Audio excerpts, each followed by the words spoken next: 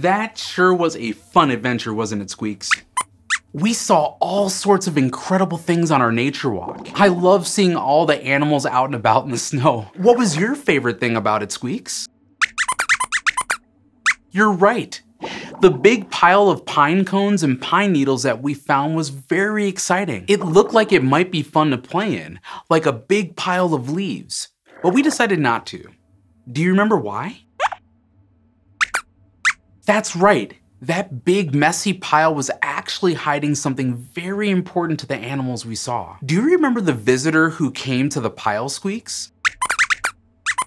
Yes, we saw a red squirrel and it was looking for a snack. That big pile we found was a midden, a place that red squirrels use to store food, like pine cones, to help them have enough food to eat for the whole winter. If you look closely at a pine cone, you would notice little seeds hiding between the scales. And there's not much yummier to a squirrel than pine cone seeds. The midden is kind of like a squirrel refrigerator because the big pile keeps the pine cones covered up so that the seeds inside the cones stay nice and fresh. And believe it or not, that big pile was created by just one red squirrel at a time. That pile might contain enough seeds for that squirrel to eat for many years. So they take care to protect their midden because they work extra hard to build it up. So that's why it's a good idea to leave a midden alone if you come across one, so that you don't accidentally disturb the squirrel's food source.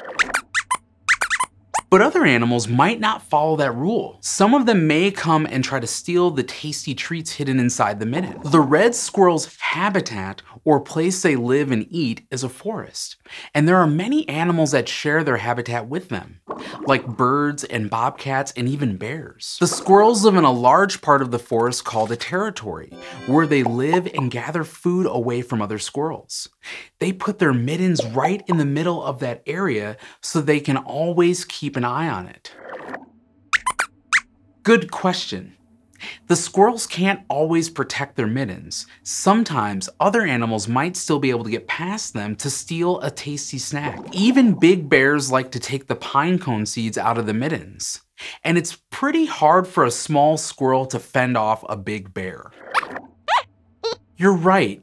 The squirrel worked really hard to save up all that food, so maybe it doesn't seem fair for other animals to steal it. But even though it may seem a little rude for animals to take those seeds, middens are very important because they help many animals living in the forest to survive. The squirrel helps out lots of creatures by building middens. That's a great question, Squeaks. Scientists have studied middens a lot and have found that some animals may take food from squirrel middens, but there are lots of other uses for them too. Martens will snuggle up in the piles to keep themselves warm from the cold winter temperatures. Scientists have counted lots of birds and other seed-eating creatures hanging around middens. They all know that sticking close to a midden is a great chance for a free meal. And other creatures that don't eat seeds like bobcats will hang around middens trying to catch a bird or another small animal to eat. You're right.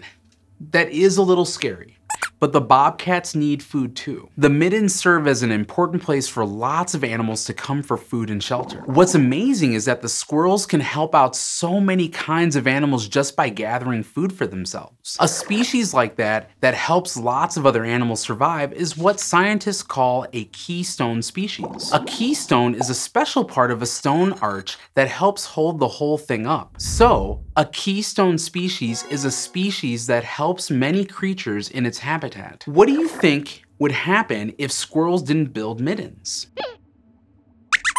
right.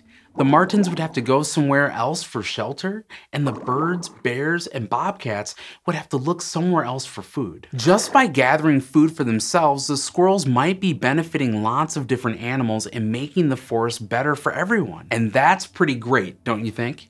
So it's super important for scientists to study keystone species like the red squirrel so they can get a better idea of the best way to protect them and the ecosystem they support. Can you think of other animals who store food like the red squirrel does with its middens? What about another creature that is super important to the ecosystem that it lives in? Thanks for joining us here today. And if you want to keep learning with me, Squeaks, and all of our friends, be sure to hit the subscribe button and we'll see you next time here at the fort.